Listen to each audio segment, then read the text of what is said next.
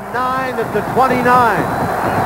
In overtime, SC leading Notre Dame 27 to 20.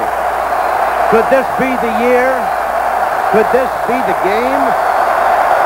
Powlus back to pass, looking, looking, looking, throws, incomplete. It is fourth down and nine. Could be Lou Holtz's At last the call. 29. The Trojan defense will be asked to stop the Irish one more time. This crowd at the Coliseum is alive. Powlus back to throw. Sets, looks, throws, and is batted down. The Trojans have beaten Notre Dame in overtime for the first time since 1982. What a scene. What a madhouse. The floor of the Coliseum, people are going absolutely bonkers.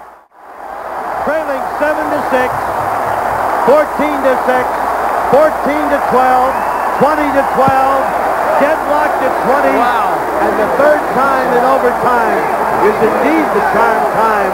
And if you look down at a scene of bedlam, the Trojans beat Notre Dame 27 to 20.